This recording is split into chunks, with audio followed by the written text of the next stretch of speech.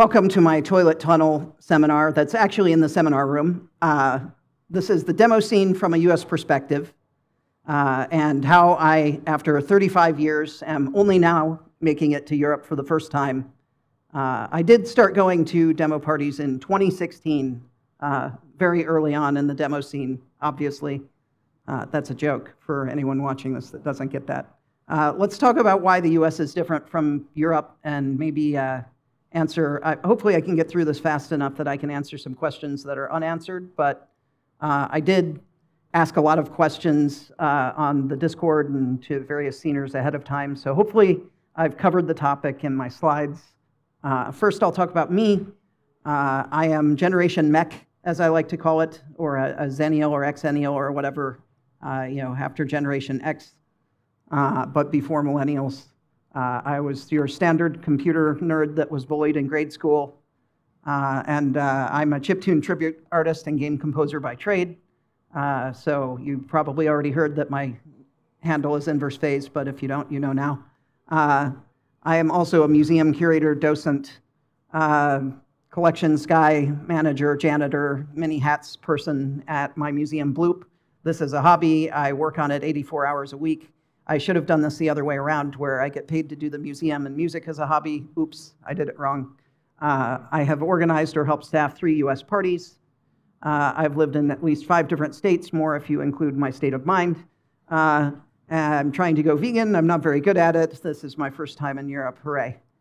Uh, okay, so um, I think that it's important that maybe I, I used to have this slide later uh, in my presentation, but we should talk about the computer development in the States uh, it's much more simple uh, than the complicated sort of European picture. You had a lot of different countries with a lot of different sort of uh, development speeds and adoption speeds of computers. But in the US, we had 8 uh, bit machines. They were very popular.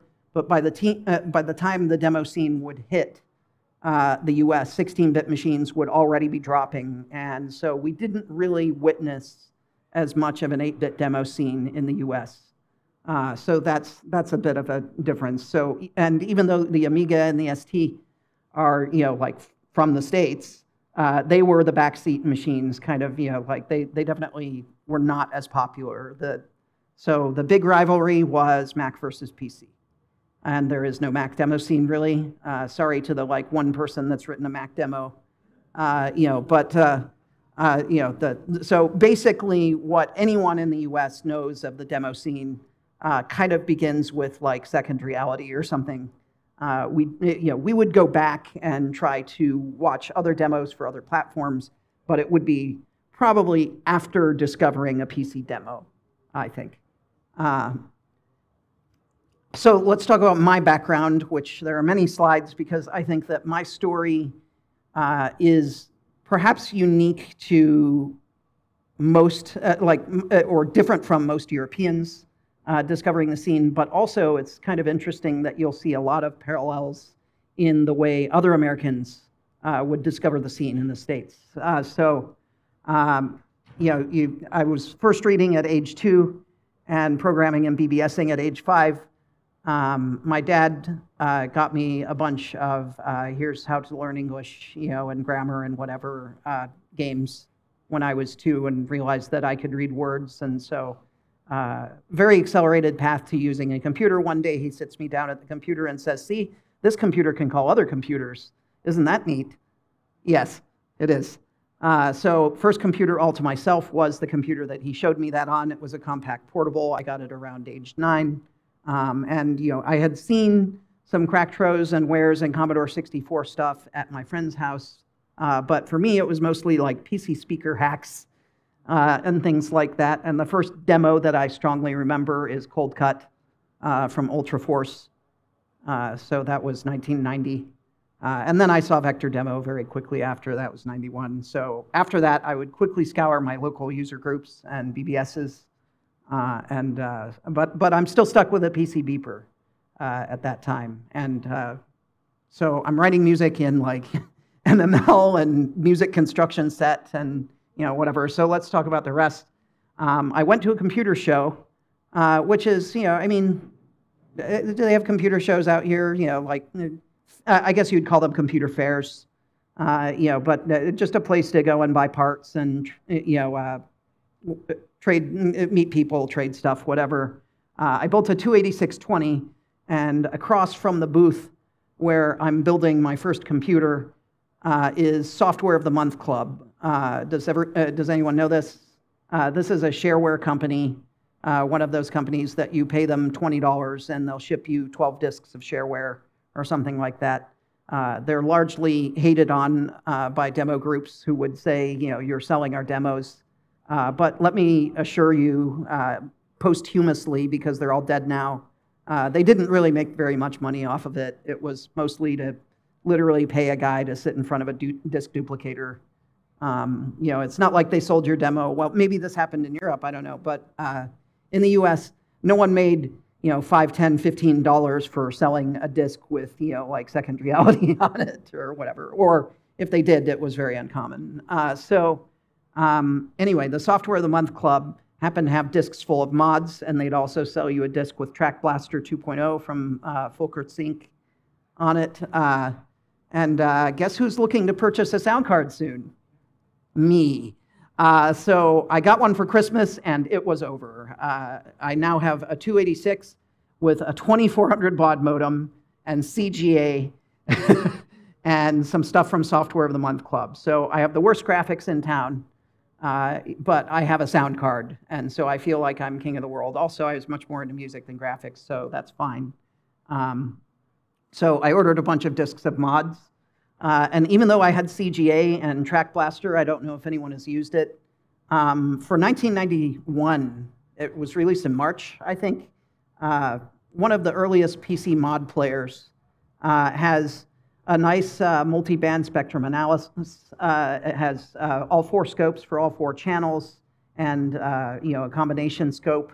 And all of this is possible on like a 286 at 10 megahertz or something like that.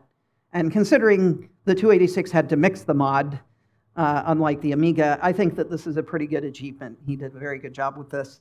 Um, so shit got real. Um, all of this happens uh, on this slide in roughly less than a year. Uh, you know, I discovered my caps lock key and I turned it off. And now suddenly everyone thinks that I'm older and I'm allowed into special uh, BBS download sections. Um, you know, some of that is uh, illicit material, but some of it is also some of the best stuff on the board. I would see Future Crew's Unreal for the first time. Uh, oh, Unreal, huh? Shit's about to get real again. So now I see that, and I remember my mod disks, and I'm starting to connect the dots. Uh, I start calling and mailing mod authors. Uh, I have a, a very fond and strong memory of, uh, does anyone know Sidewinder? Uh, was in a bunch of groups, but uh, Megawatts was one. Uh, did a bunch of jungle and techno and rave stuff. Um, Sidewinder lived in Texas uh, and was very famous for putting his address and uh, phone number in the mods. So one day I just picked up the phone and called, and we talked for 30 minutes about you know pizza and Sega, and uh, you know I asked if I could. I, I was like, listen, I want to order one of your CDs, but I don't want you to run out. And also, will you take a check from a 12 year old? Um, you know, so that was kind of interesting. I also uh, I wrote uh, a, a, very stupid letter to Format um, after hearing the uh, Format's Depeche Mode "Enjoy the Silence" cover, uh, and I was like, "Could you also cover these songs, please?" And it was, I was stupid.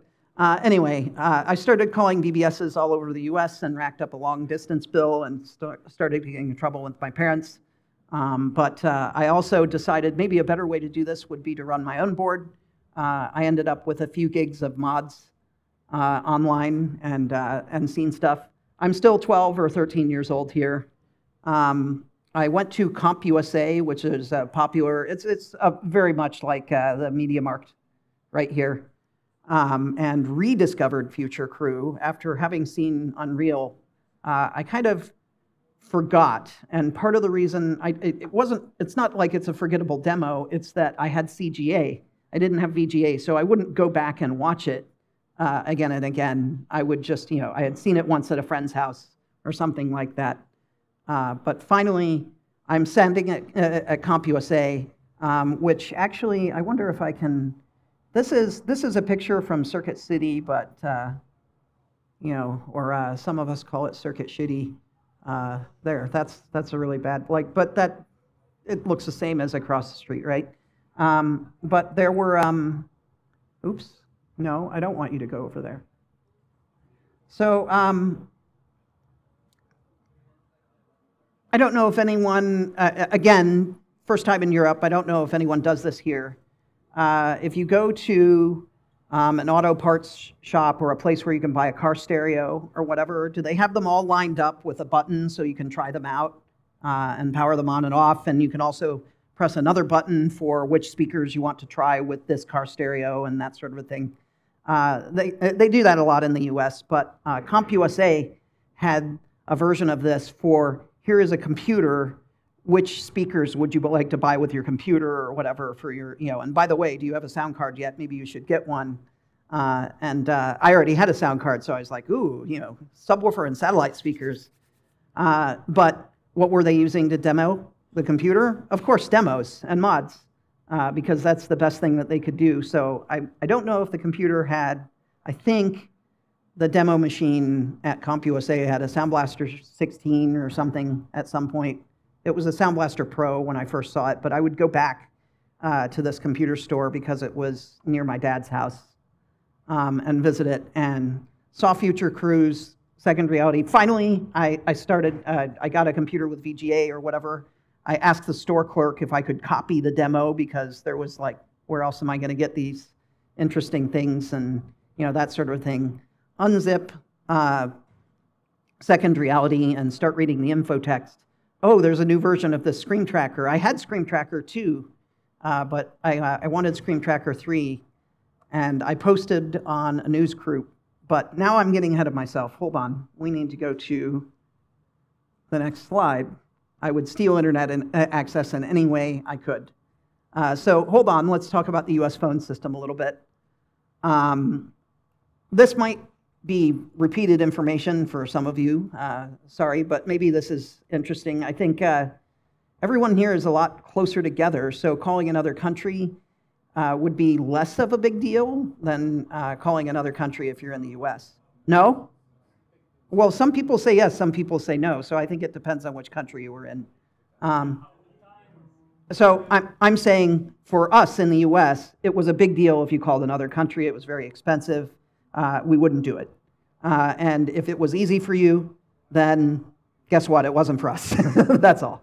Um, so uh, in the US, by the time the demo scene is hitting the US, uh, most phone companies are not charging to complete a local call. Uh, so I know uh, one of my biggest conversations with everyone in Poland is how every time you would dial, you would have to pay. Um, and so this, this is not really, this, this did exist at one point in the US, but our phone system had evolved past this at this point. Uh, structure of a US phone number might be interesting to some. Uh, you know, uh, you've heard of this plus one thing. Uh, we, I don't know, again, because I'm unfamiliar with dialing in other countries, but we actually have to dial the one uh, for a lot of us. Uh, we don't anymore, but a lot of people still just do it because it's muscle memory. Uh, we have a three digit area code for usually the state, but eventually the state would break up uh, into multiple area codes.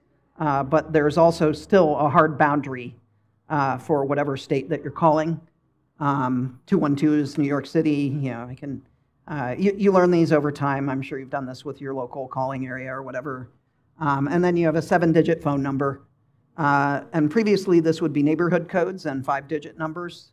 Um, so, like Baltimore, uh, where I live right now had BA, which is 22 on your phone if you look at the letters.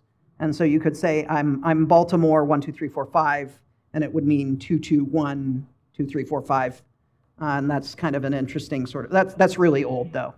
Um, so um, then we have calling areas. Um, so here's, this kind of gets interesting about how it would cost money uh, to call different regions. So our local region Again, this would be uh, you know, by design uh, for your phone plan, but generally, uh, if it's 30 minutes or less away, uh, it's free to call. Um, if you lived in DC, for example, uh, the DC metro area is much larger. So the phone company would offer a phone plan so that you could call like DC, Northern Virginia, and Southern Maryland, which is probably more like an hour to an hour and a half radius. And there would be like a phone plan for that. And again, this is, I'm, I'm giving you my experience. Uh, this would vary wildly across the U, uh, US, and uh, different phone companies would develop, uh, you know, at different rates. So it could have been different somewhere else in the US. But uh, so then you had regional long distance. Uh, this is, for example, I was in Idaho Falls for a time, and Idaho Falls isn't really near anything else. Like the, the next large city that would be near us is Pocatello, of, of considerable size. It's regional long distance to call Pocatello. It's the same area code, 208, for all of Idaho at the time. But I would not need to call 208 to call the number uh, because I was within the 208 area code. Um, long distance to another area code, uh, you're looking at maybe 13 to 22 cents a minute in the early 90s. Um, and then eventually, all the companies start standardizing on this 10 cents a minute thing. Um, and one of the reasons that there was a push for that is because we had something called 10 codes. Um, if you look up uh, phone company ads or whatever for the US on YouTube, which is going to be really esoteric, I know, but maybe I'm in the right crowd for that. Uh, there was a thing called 1010 321. Um, and if before you call the phone number, you type 1010 321, you would switch to a new carrier and they would complete your call. Um, and uh, so this was supposed to be a big deal uh, that, you know, like you could suddenly make phone calls for 10 cents a minute. But in the early days, what they didn't tell you, or it was in the fine print while you're watching the commercial or whatever is that suddenly your phone bill will have an extra $5 charge because you added a carrier to your phone plan. Uh, for, uh, so for whatever month that you would use that code, it would be 10 cents a minute for, for all of your calls and no connect charge, but $5 one time per month. Uh, so that's kind of an interesting, weird thing. So what about the BBS scene? Uh, the phone system is maybe a little bit more advanced if you're, you know, uh, so, so calling BBSs would be much easier to do, much more popular. Not that it wasn't huge in your country either or whatever, but, uh, but especially in the US, uh, they've made it very easy to call other computers, so yeah, it was big. Um, and uh, it, in, in Nowheresville, Idaho, where I'm living, there are 12 or something like that boards. And this is uh, the population in Idaho Falls, to give you an idea, is maybe 50,000. So, uh, so that's, I, I think that's proportionally quite a lot of boards. Um, fairly quick standardization on PC boards, again, because of the popularity of the PC. Uh, you know, like, so not really, uh, you know, you see a lot of 8-bit boards or Amiga boards or whatever in other countries. You would not really see them uh, in the US. That's not to say that they didn't exist, just that uh, uh, in my experience, they were much less popular. Um, examples of BBS software, if you're curious. Uh, I, I, I, saw and ran uh, Searchlight uh, Wildfire Renegade, and this is interesting for people in Baltimore. Uh, I met seven local Baltimore BBSs, and we did a roundtable conversation recently. Um, I always called this uh, WWIV or pronounced it World War IV, uh, but, but apparently everyone in the Baltimore region just says WIV. Uh, so I thought that was just an interesting, weird thing. Uh, I would also see a little bit less, but PC board, Spitfire, RoboBoard, Major BBS.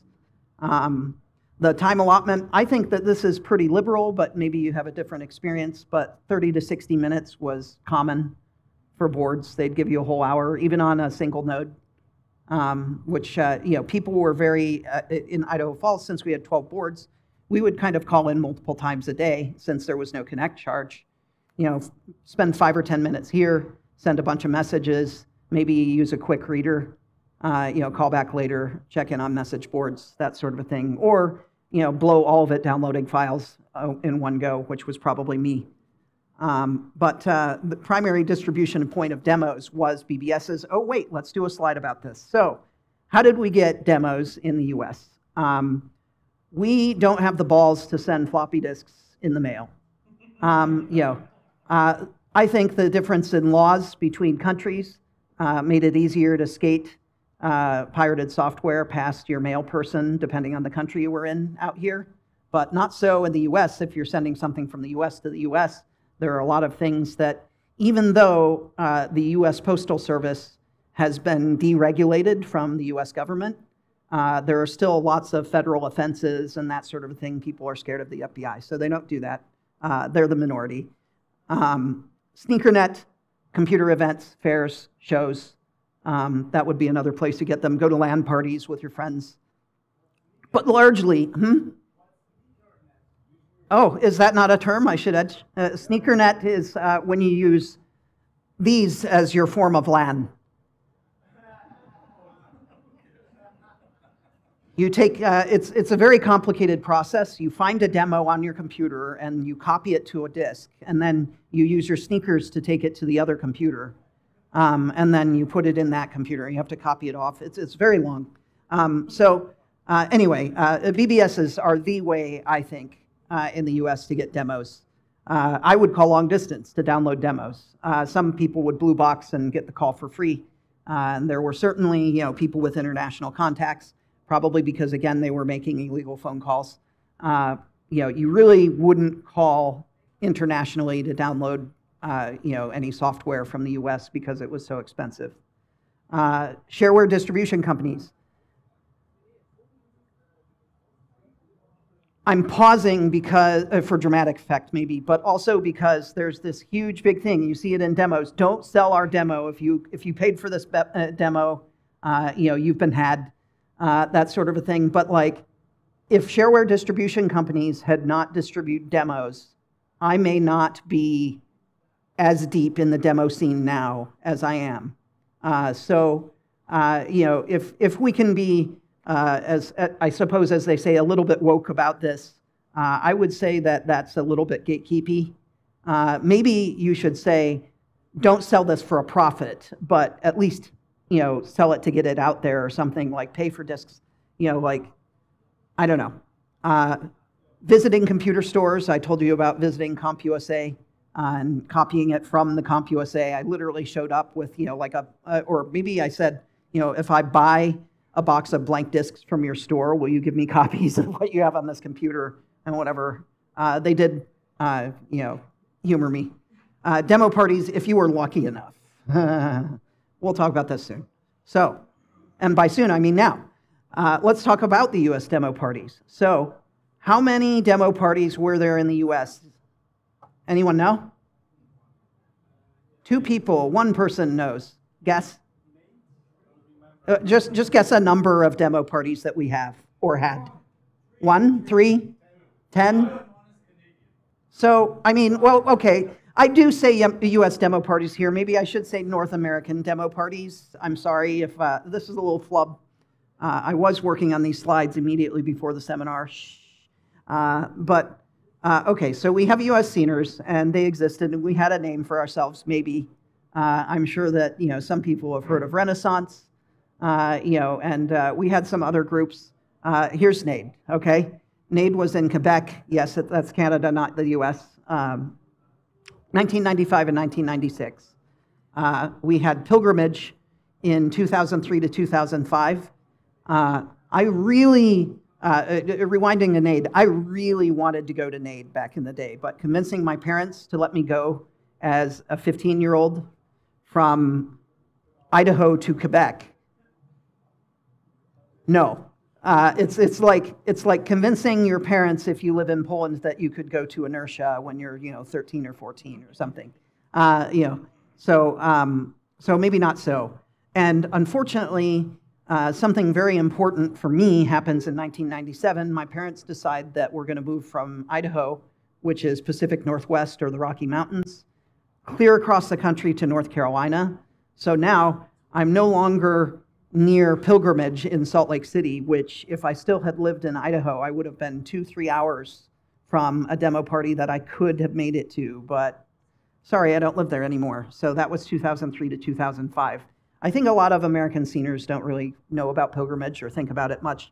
Block Party would be the one that we fondly remember, uh, or in memoriam.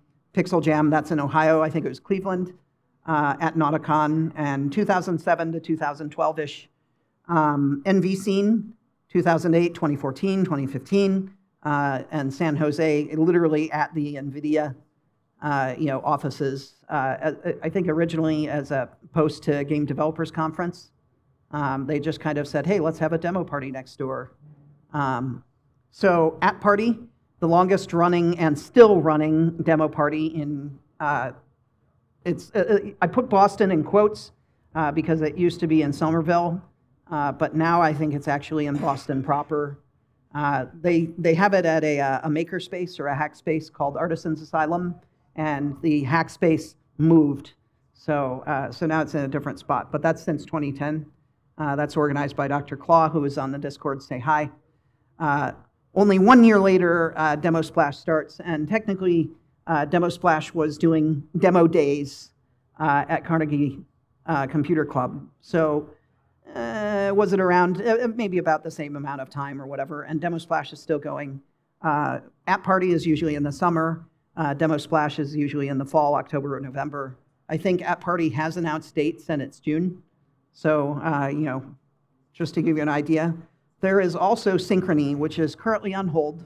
Um, you actually uh, go to a place, or you would go to Baby Castles, which is kind of an indie arcade uh, nerd geek space in New York City. Uh, immediately after, you get on a train and go to Montreal, and that's where you work on your prod. And then you get off the train in Montreal and you show your prod.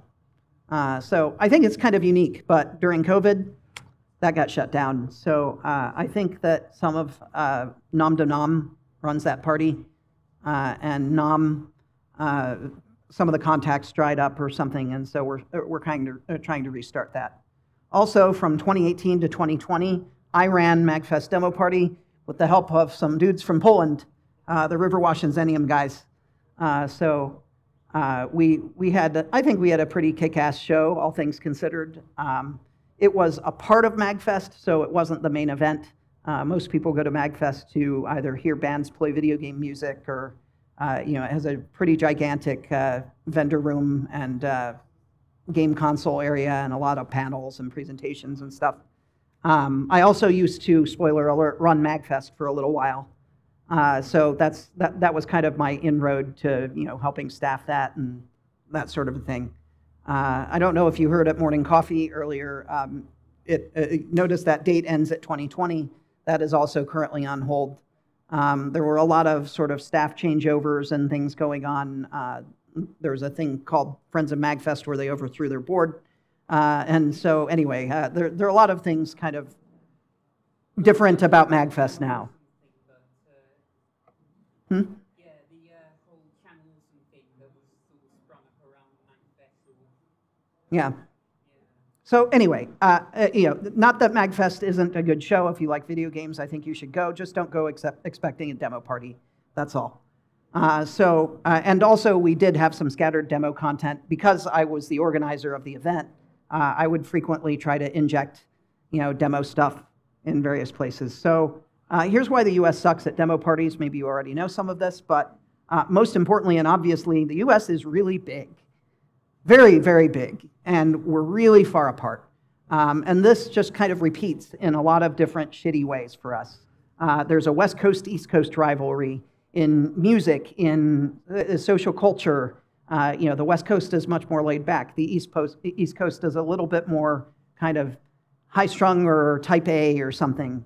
Uh, you know, and also because DC is on the East Coast, it might be a little bit more political sometimes. Uh, the true enthusiasts of the demo scene and whatever are few and far between. Uh, that's not to say that there aren't a lot of us, uh, but a lot of us, as in, you know, the number of sceners in Germany compared to the number of sceners in the US. The US is a much larger country and we have the same number of sceners, probably less. and it's so much bigger that there's just so much space. Uh, computer education is poor in the US. Uh, I shouldn't say it's, uh, well, right now it's especially poor. I think education is poor in the US in general uh, and could stand to be better. Uh, also, there's a big disparity. There's a wide gap between, you know, kind of STEM schools and that education and that sort of thing, and just kind of your average school. Um, so some people are getting kind of left behind. nerd culture, I would say only recently was uh, began celebration on a large scale, um, and that might mirror your experience here. I don't know, but uh, you know, since the nerds definitely didn't want to run an event and you know get bullied or shit on or whatever. Uh, you wouldn't see this uh, in the U.S. as much. So altogether, it's too niche, right? Here's why the U.S. is better at demo parties. Uh, we have always had to do outreach, so we're very comfortable with this. And by com- very comfortable, I mean somewhat comfortable. But I do think that uh, there is a little bit more of a sort of a, an exclusive attitude to a lot of Euro parties. Maybe not anymore as much, but there was at a certain point.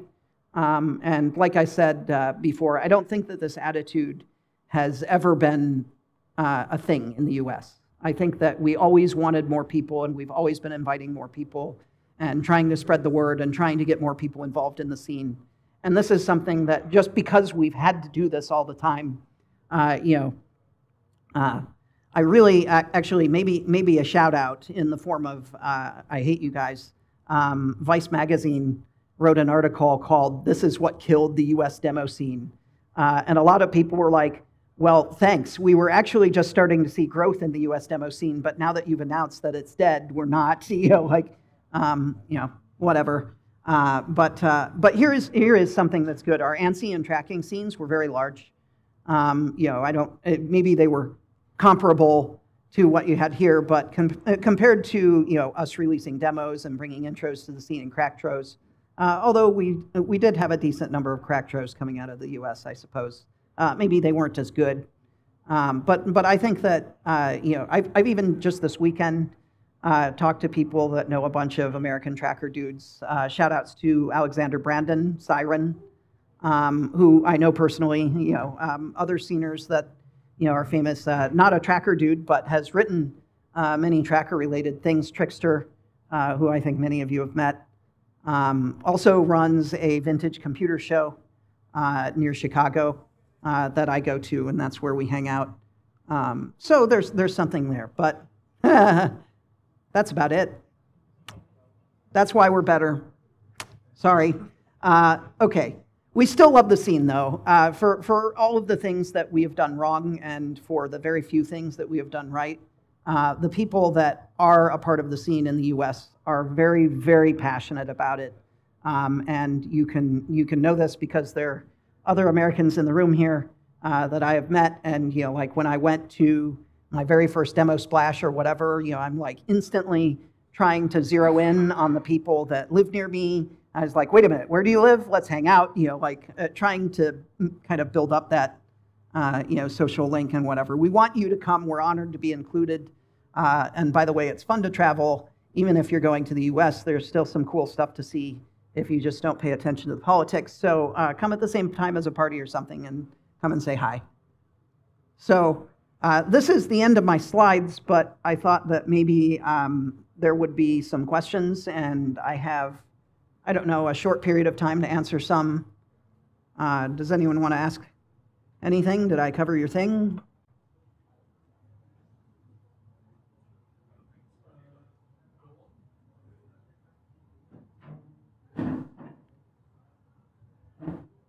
For those at home, we're waiting on a mic to be turned on.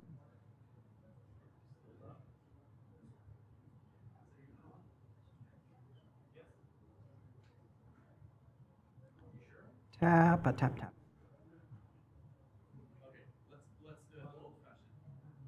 Yeah, yell your question and I can repeat it, or you might be getting a replacement soon.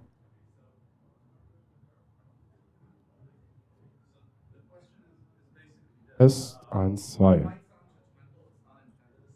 Oh, go ahead. Uh, I've noticed that uh, American demo parties and, and general just things to do with the demo scene are a lot more accepting and have been a lot more accepting of uh, commercial opportunities, commercial. Um, uh, I don't even know what kind of spin to put on it, but like NV Scene is one example, right? That's a uh, that's a place where you can see the the commercial element yeah. that's especially strong in the U.S. Literally US. holding it at the NVIDIA headquarters. Yeah. So. I've I've found that to be interesting because it was it was a very, very obvious difference between the US way of doing things, demo party related, and the European way of doing things. I think it's changed a little bit in Europe, like it's become a lot more mm-hmm. acceptable. But I'm wondering if if that was noticeable for you as an American, or if it if it made sense. You know, to be honest, uh, thinking about more of the uh, uh,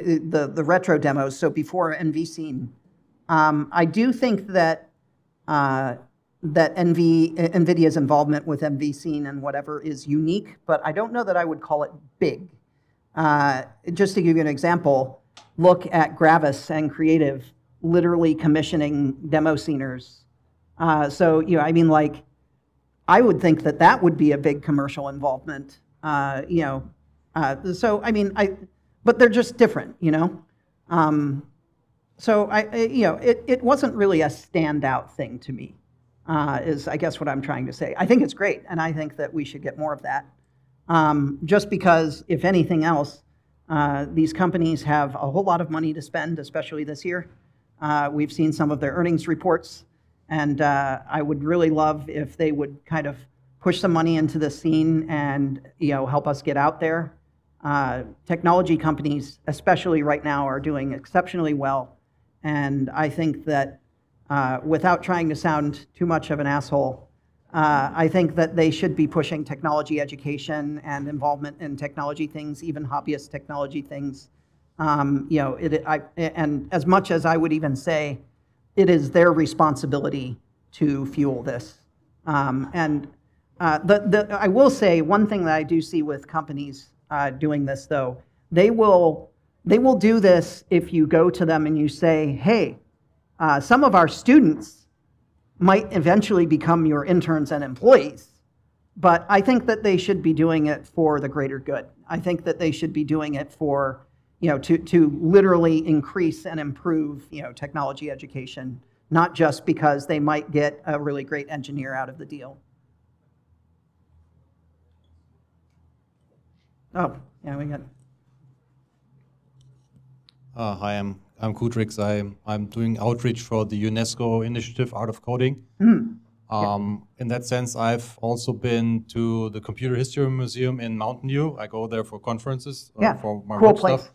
So I, I met their director, Mhm. and I'm about to meet him again in April uh, to organize some kind of demo scene outreach thing in the Computer History Museum. So obviously, if that would materialize, I would rely on uh, having help from within the US. I mean, you're East Coast, but um, probably Yeah, you it's a the right five-hour folks, so- flight or a four-day drive for me to get to California, but I would love to join you and help. Yeah, yeah, okay, Um, yeah. I'm not asking uh, particular, but if there is something happening, I would like to really be connected to the U.S. scene Mm-hmm. and and kind of get the momentum also from there because I'm I'm coming from Germany and Switzerland and go there and tell them, look, there's a demo scene. You probably know that yourself, so why don't we do something about it? So Mm-hmm. I'm- I'm happy keen to on, help you keen with on outreach. connecting. That's what I'm asking. Yeah, no, I'd love to connect.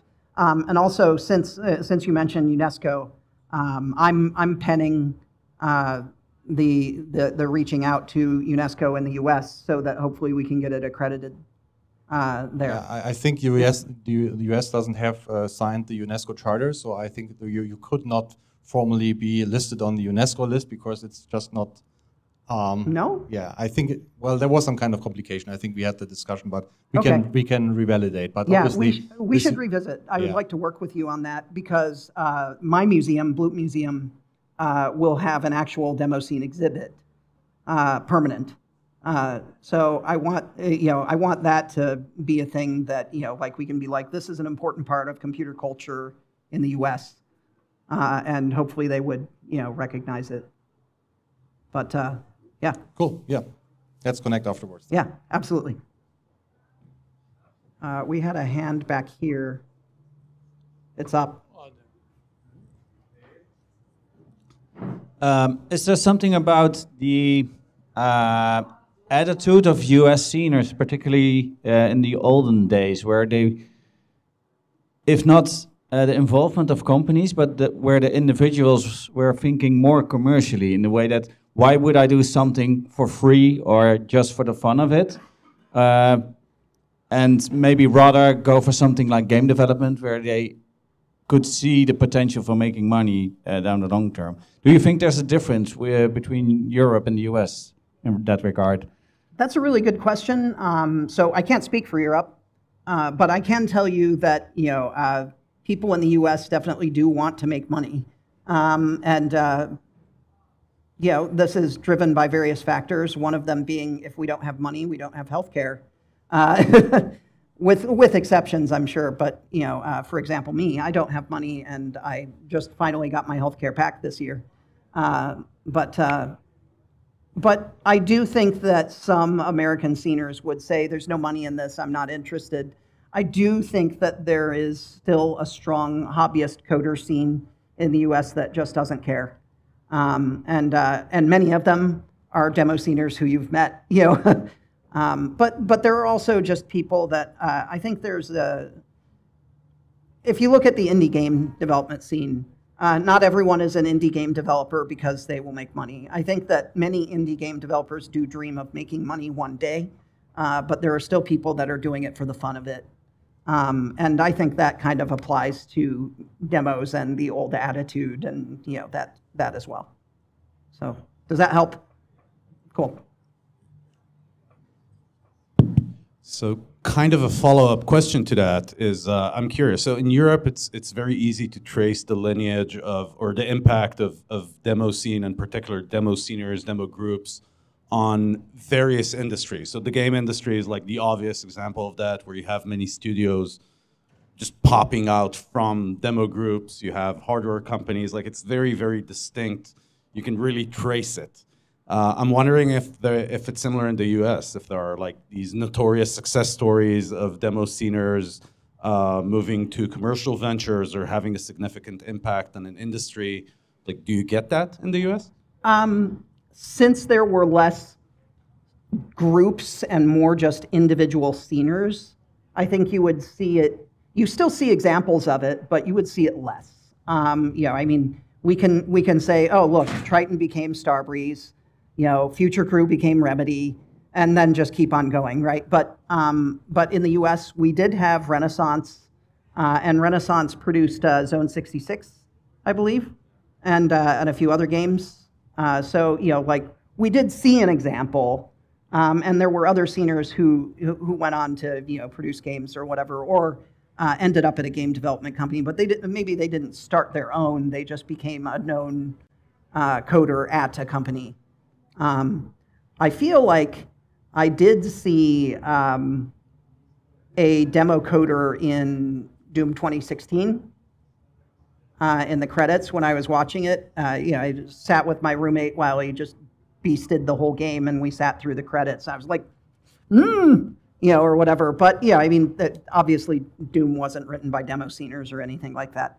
Um, so um, yeah, you know, uh, and I, I guess I, I, use the example of Alexander Brandon Siren, you know, as well. Uh, we did see a bunch of musicians in the scene end up working on Unreal, the game, uh, you know, and, and working for Epic. So there was a little bit of, and Epic Pinball is another good example. Yeah, I mean, so uh, it wasn't exactly like it. Yeah. Yeah. Other questions? There's a hand. Uh, yeah, it's maybe more of a remark uh, regarding uh, BBS versus um, meetings in person uh, when it comes to the cracking scene of the 80s. Uh, I'm, and I'm talking about Germany now, which had a big scene. Uh, like you were afraid of um, mail trading, we were afraid of the Federal Telecom Service, which was actually the same like the Postal Service, um, because they didn't allow any modems to start with you couldn't connect a modem to the telephone net, mm. and um, you you had this. Uh, they they called it data toilets, where you would put the the handle of a normal phone uh, to a modem, so you would uh, uh connect through that. Um, but foreign calls uh, were hugely expensive, and uh, I think also people were more afraid of blue boxing here while mail trading was very easy, you could easily get uh, what they call PLK, an, an, anonymous post box where you could do your swapping and nobody would uh, actually check what you are receiving um, there. Uh, so that made it uh, quite um, attractive. And plus, of course, we were all close, much closer together. Though you would go on copy parties where you could uh, do the trading as well and the mail trading as well. Yeah, um, in the U.S., uh, you know, we had acoustic couplers, uh, and the phone. Uh, the reason we did, for at least in the U.S., is uh, until I think it's 1982. I could be wrong. Oops, don't go to sleep. Well, I don't know that matters, but um, in in 1980 or until 1982, uh, the phone company with your phone service would supply the phone um, and it was hardwired into the wall. Uh, there was no such thing as a phone jack with a phone plug, so you know you would have to use the acoustic coupler uh, until that point. Uh, eventually, they start implementing you know phone jacks in people's homes and that sort of a thing. And you would see there's one example of this kind of. It actually sort of looks like a, a Euro uh, AC power plug. Uh, that's that's an old style phone jack, but those were not uh, you know, nearly as common, and also your phone company would still supply the phone. Move to the late 80s and the early 90s, you can purchase any phone you want. There's a phone jack, whatever. Uh, the the early modems, like the the micro modem 100, uh, we were really excited for those, but uh, direct dial modems with uh, Direct Connect became very popular very fast.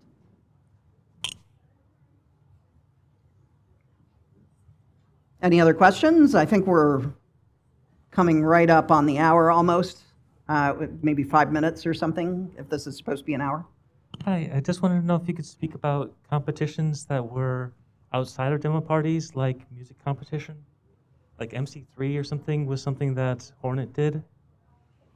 Um, competitions outside of demo parties, like, well, I guess we do have, you know, coder competitions, um, a lot of game jams uh, do things like that.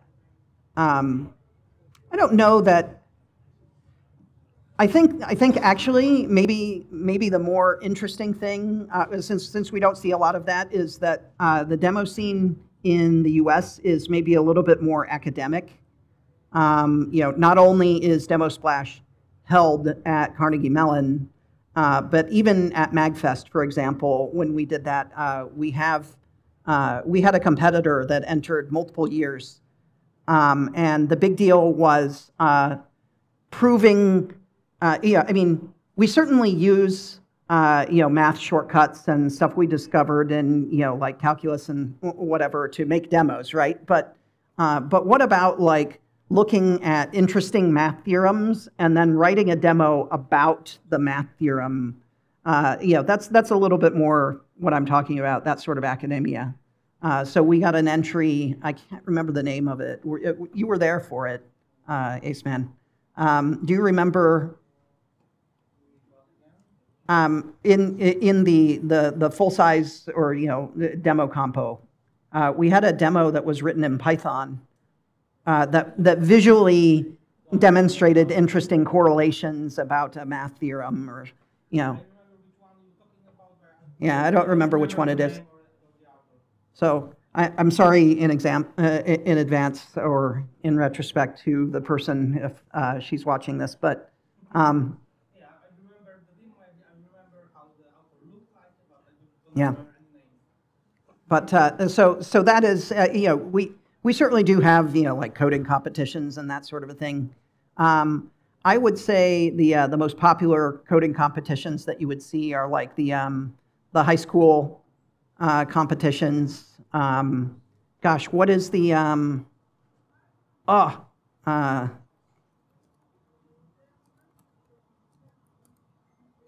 there's there's a specific one that is standing out in my mind, and I don't. It's like the ACM or something like that. I think it's ACM is a uh, is a national organization that you know people will actually code things for and that sort of thing. And that's that's an academic, not demo scene thing. Uh, we do see, um, yeah, SIGGRAPH, um, and you even see some demo content at uh, Usenix. Um, so so there is that. Um, I, I think that takes even, with the the very little demo scene or demo party uh, representation that we have in the scene, I still think it takes a back seat uh, to those parties. So I just got my time warning. Is that, uh, is that I'm off or is this last question? Do we have time for one more? Okay. Um, Is it a quick question? I'll, I'll try not to talk so much.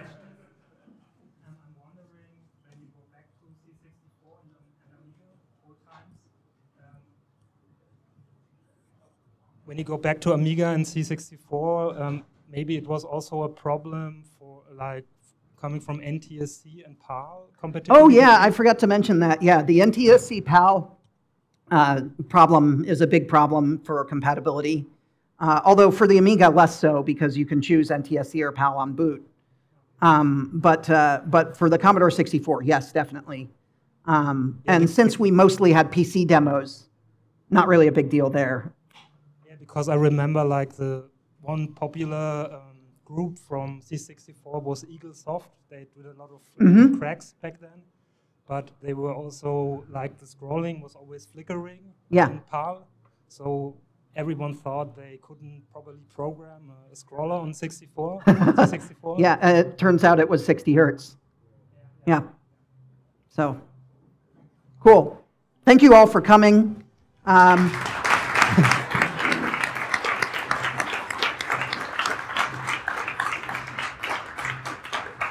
I appreciate your support. I'd love to talk to you later. Fast Music is about to start. I have an entry in Fast Music. Um, it is a shill for my museum. Please listen to it. Vote for me. I want to win.